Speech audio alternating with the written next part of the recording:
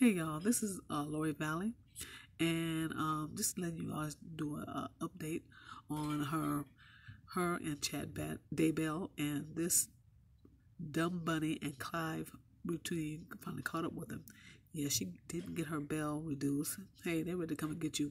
You know, she'll be in uh, Utah in a few days and stuff like that. But they better be knee deep in all kinds of stuff because this chick has all kinds of powers and she just may disappear.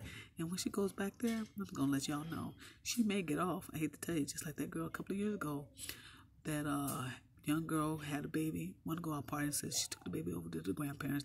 They never saw the baby either, and she got all off. So hey, it could happen because this is America. Only in America things can like this can happen. So just letting y'all know, so don't be a surprise. Okay, that's it. It's just an update. Bye.